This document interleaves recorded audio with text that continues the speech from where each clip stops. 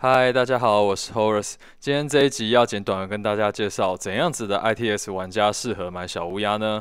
小乌鸦是银星很有名的一个 ITS 机壳系列，它除了小乌鸦一代、二代还有三代，与它类似的其他厂牌出的机壳有 Node 二零二，还有 CL 五二零等等。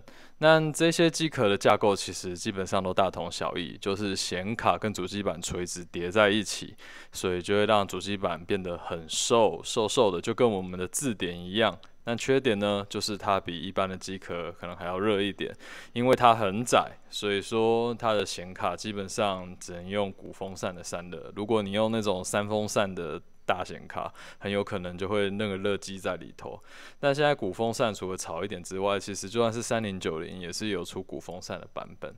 那 CPU 的部分呢？这些类型的机壳基本上它的处理器的散热线高都不怎么高，你一般就只能用像 L 九 I 这一种小小的。